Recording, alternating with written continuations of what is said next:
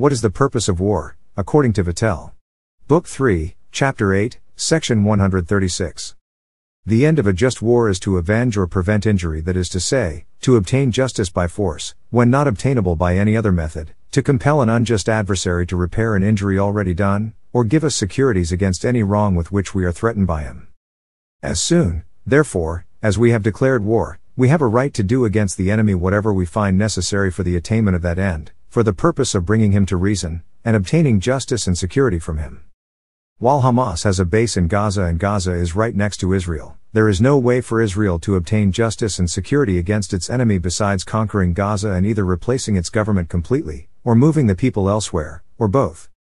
One reason mowing the lawn making war to punish the Arabs feels so viscerally wrong is that it is not, in fact, a way for Israel to obtain justice and security against its enemy, except with the hope that hurting Hamas and Gaza will teach them the error of their ways. History teaches us that this punishment does not work, making Israel's tactics wrong, not because they are too harsh, but because they are too weak.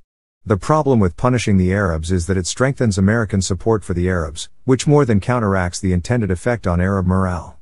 The only true law of war is if it hurts people and doesn't work, don't do it. Of course, there are some situations where avenging the wrong is sufficient to prevent any recurrence of the wrong. This is clearly not one of them. Rather, the only way for the Israelis to obtain justice and security from the Gazans after October 7 is to occupy and seize their land, moving them to somewhere where they cannot harm Israel. The idea that this is not militarily straightforward, given the military disparity, is comical. Avenging is not the end, it is only one permissible means toward the end. While it is permissible, it is only permissible if it actually works. Any tactic or strategy that does not work is only a recipe for useless violence. The end of war is always peace, peace on the terms of the strongest party. Justice and security for the victor. International diplomacy aside, the strongest party is clear. Wherever the strongest party is clear, there is no motivation for mutual combat. This simple rule of might makes right, which is always the law of war, is the way in which that the Azeris were allowed, on the basis of basically no reasonable argument so far as I can tell, to ethnically cleanse and seize Nagorno-Karabakh. With almost no physical harm to any of its residents, who just left. Losing their land and property. How much better is that than being bombed? Than having to live in a war zone? Gosh. The Armenians have taken some bad raps, but at least the Armenian cause has never really taken off at Harvard. I think it's because the Armenians are already Christian, sort of, which is weird, and deranges the whole missionary impulse. Basically, the blame for Israel's tactics falls on the international community, aka the State Department, because mowing the lawn is the only action that state permits. Other than bend over and take it, or, in the longer term, the coffin or the suitcase. Since mowing the lawn is not an effective military tactic, it is not morally acceptable. One wonders if the Gaza protesters are sensing this in some way. Not probably not. But is conquest of territory an okay thing to do? Book 3, Chapter 13, Section 194. If he has to do with a perfidious, restless, and dangerous enemy, he will, by way of punishment, deprive him of some of his towns or provinces, and keep them to serve as a barrier to his own dominions. Nothing is more allowable than to weaken an enemy who has rendered himself suspected and formidable. The lawful end of punishment is future security. Sounds sane and normal to me. Does conquest create a right of ownership? Can Israel conquer Gaza, then turn it over to Jared Kushner to redevelop? Sure thing, bro. By the rules of the voluntary law of nations, every regular war is on both sides accounted just, as to its effects, and no one has a right to judge a nation, respecting the unreasonableness of her claims, or what she thinks necessary for her own safety. Every acquisition, therefore, which has been made in regular warfare, is valid according to the voluntary law of nations, independently of the justice of the cause, and the reasons which may have induced the conqueror to assume the property of what he has taken. Accordingly, nations have ever esteemed conquest a lawful title, and that title has seldom been disputed. What is the most aggressive response Israel would be justified in taking in response to October 7? According to the most genteel classical international law, as perfected in the days of pretty little cabinet wars with dripped out dress uniforms and trumpeters who played Bach, Book 3, Chapter 8, Section 141. There is, however, one case, in which we may refuse to spare the life of an enemy who surrenders, or to allow any capitulation to a town reduced to the last extremity. It is when that enemy has been guilty of some enormous breach of the law of nations, and particularly when he has violated the laws of war. This refusal of quarter is no natural consequence of the war, but a punishment for his crime, a punishment which the injured party has a right to inflict. But in order that it be justly inflicted, it must fall on the guilty. When we are at war with a savage nation, who observe no rules, and never give quarter, we may punish them in the persons of any of their people whom we take, these belonging to the number of the guilty, and endeavor, by this rigorous proceeding, to force them to respect the laws of humanity. Just by fighting without uniforms, let alone all that cray Comanche tear slaughtering, Hamas fighters have entered this legal territory, which survives in GWOT parlance as the illegal combatant. The IDF has the right, if not the duty, to execute all its captives on the battlefield. But what about the civilians? Section 148. But all those enemies thus subdued or disarmed, whom the principles of humanity oblige him to spare, all those persons belonging to the opposite party, even the women and children, he may lawfully secure and make prisoners, either with a view to prevent them from taking up arms again, or for the purpose of weakening the enemy. The IDF has the right to invade Gaza, shoot all the Hamas militants, who have given up their rights under the law of war, and detain all the civilians. This is how it works. No one in any other time would have questioned this as a normal result of war. Actually, even letting all the civilians out of the Hamas fortress is kind of generous. By the polished nations of Europe, women and children are suffered to enjoy perfect security, and allowed permission to withdraw wherever they please. But this moderation, this politeness, though undoubtedly commendable, is not in itself absolutely obligatory, and if a general thinks fit to supersede it, he cannot be justly accused of violating the laws of war.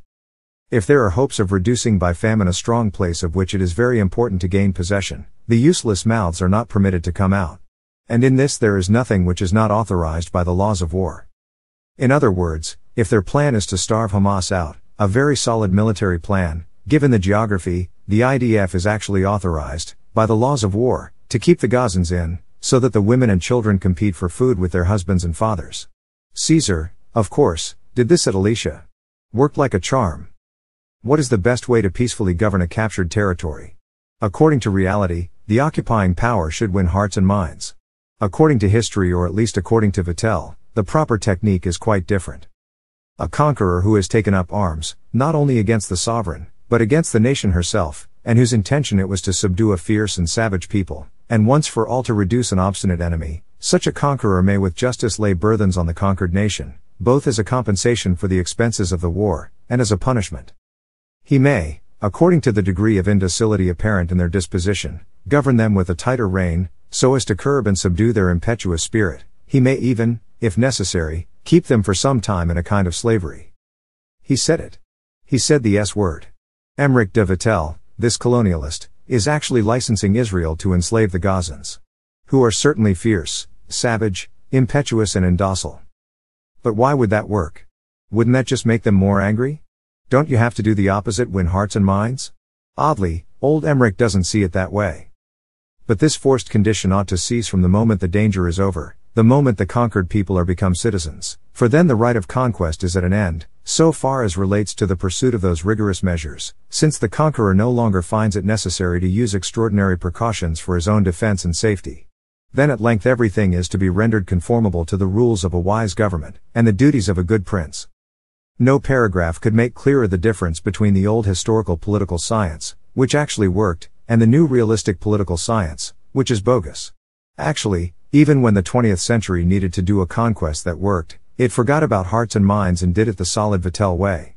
Look at post 1945 Germany. Complete with forced labor, e. slavery. You see, Sam, it really is all connected. Is it not astounding how Vattel, one of the great legal minds and scholars of statecraft of his day, simply assumes that any government can rule any people? The power and majesty of any state, Vattel believes, can reconcile any population to its affections. A Catholic prince can govern Protestants, a Protestant prince can rule Catholics. And of course, the language and race of the prince need not even match the population. As late as the 19th century, the Greeks imported a German king. For this reason, Vattel does not really cover ethnic relocation policies, unless they concern the relocation of savage populations which do not obey the civic law of war. Vattel would consider this another incentive in favor of civilization and civilized war. In every war, the rules are mutual. They sink to the lowest standard of either side. If you are at war with Comanches, you are licensed to use the methods of Comanches, but never just because they make you feel warm and good, only if they actually work, and nothing less nasty does. Vattel is a recipe for peace, not endless asymmetric wars. Note that in the early days of Israel it was thought that a Jewish government could rule Arabs, which is why Arab Israelis became normal Israeli citizens. Later a war of conquest was forced on Israel, but after these conquests it proved impossible, for demographic reasons and general national sanity, to digest Judea and Samaria and Gaza in this way. Yet for a long time they could still be under colonial government. Then the US hatched the crazy scheme of the PLO's return from Tunisia, and in that power vacuum, Hamas, an arm of the Muslim Brotherhood, seized control of Gaza. This clock cannot be turned back. Israel cannot recolonize Gaza. One illusion that died with the paraglider assault on the rave was Jabotinsky's idea of the Iron Wall. Fundamentally, any wall has a two dimensional quality. While it is probably possible to make a wall better than the iron wall that Israel had up, which was basically a chain link tennis fence with some ring doorbell cameras, modern warfare operates in three dimensions. Any wall will always be too short. No act of vengeance is adequate. The problem of governing these artificial, Byronic Comanches needs to be solved. Hamas has turned Gaza into a fortress. If Israel decides to act according to history, not reality, and obey the natural laws of Vattel, not the weird whims and whimsies of the increasingly demented American progressive elite, here is what it will do with this fortress. Israel will recognize that the Gaza Strip is a besieged city and offer to evacuate its population, who will walk out in single file along the beach, with their hands up.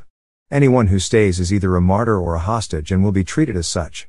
Anyone who emerges is safe unless he has committed war crimes, in which case he is a martyr. Israel, which has a lot of land, will build secure temporary housing for 2 million people in the desert, and pursue moving them to a charter city in someone else's desert, or maybe even jungle, or perhaps if Elon can guarantee a safe journey Mars. Hamas has a lot of energy, what if they put it into colonizing Mars? Just a thought.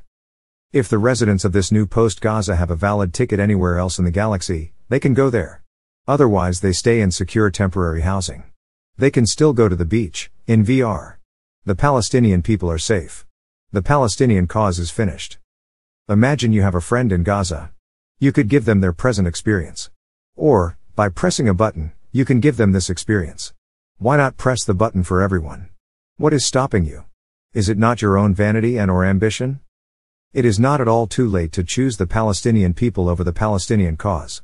For the West, the way to make this choice is a policy of neutrality, the normal foreign policy of the age of Vattel. Do not give money, lend money, or sell arms to either side. We see instantly that neutrality equates to letting the Israelis just expel the Gazans, a fate their collective support of October 7 has collectively earned them. Vae victis. But the IDF will have to do it with their own homemade Uzis. I think they would? Of course, it's totally up to them. One of the perverse pleasures of this solution is that it is not just far to the right of the Israeli right, but also far to the left of the American left. Who are not, yet, seriously thinking about banning US investment in Israel, unless your name is Harvard. Actually, one strain of criticism of early 20th century internationalism was that it was deeply driven by international finance. US lending to Britain and France was indeed a major cause of US entry into the war. In Vattel's era, international finance was weakly developed.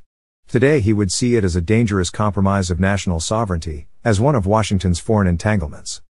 A nation that does not borrow or lend internationally, that pays for all its imports with revenue from exports, and does not allow cross border capital flows, can obviously be much more independent than one which does.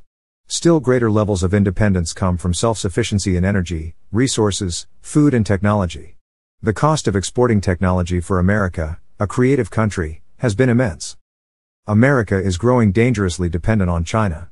But its independence is pretty strong compared to Israel's. The early Israel put a lot of work into real independence. The early Israel was a country, not a resort.